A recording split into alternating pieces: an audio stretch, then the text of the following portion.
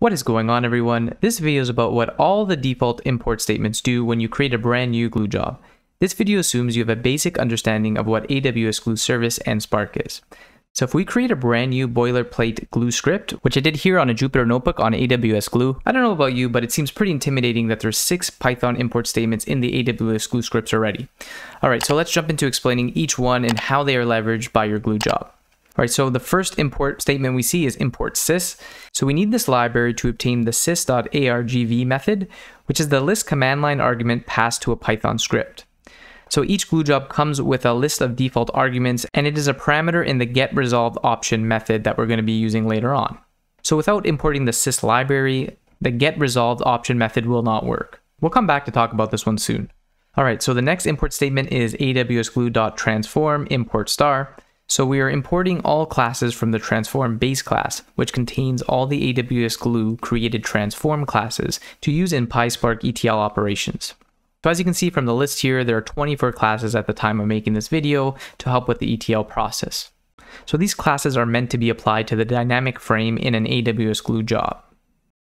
Moving on to the next one, so we see from awsglue.utils import get resolved option.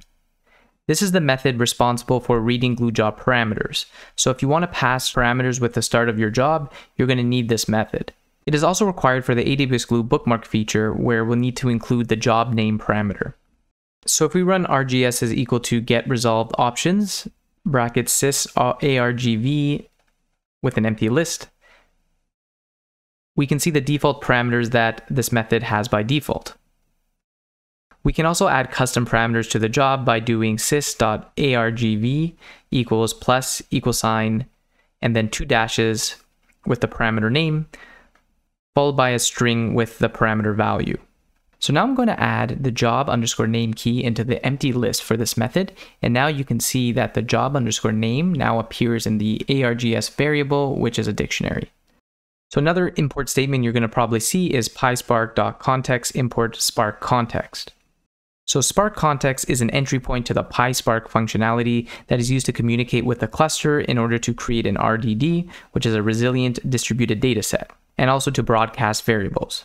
So as you can see here, part of the boilerplate code, we are calling a get or create method and passing it to a variable called sc, which is then being used by the glue context class in the line below. All right, so the next import statement is from awsglue.context import glue context.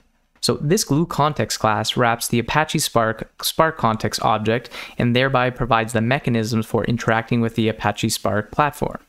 Well, why do we need this? Well, it allows us to interact with data that is uniquely stored on the AWS Glue service or in the AWS Glue ecosystem. So as you can see here, we're passing the SC variable to the Glue context class. Now this will allow us to create data frames from S3 or from the Glue catalog. All right, so for the last default import statement, we have from AWS Glue.job import job. So the purpose of the statement is to use the job.init at the beginning of the script and job.commit at the end of the script. These two functions are used to initialize the bookmarking service and update the state change to the service. Glue bookmarks won't work without calling them. All right, now that we have our glue context class initiated, we can go ahead and create a dynamic data frame from our data, which is a Parquet file in S3. So if I use the glue context.create underscore dynamic frame from options and then passing in S3, and then the path of where my data is, the file format, and if it comes with headers. And now just adding a print statement to see the count. And if we give this a run, we now see we have 15 records. And I can go ahead and add another statement. So now on our data frame, we're going to use the print schema method. And if we run that again, we now see we have three columns part of our data frame. All right, now we're gonna go ahead and use a transform from this transform library. So we're gonna go ahead and drop the order ID field. So I'm going to now create a new data frame called edited data frame, and we're gonna use drop field, and we're gonna add dot apply.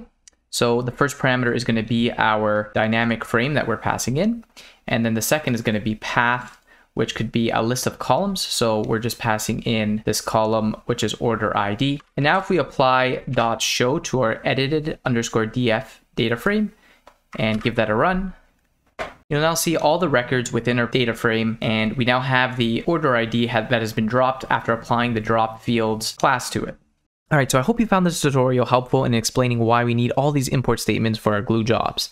Thanks so much for watching, and please consider subscribing if you're new to my channel for more videos related to data engineering and AWS Glue. Thanks again, and see you next time.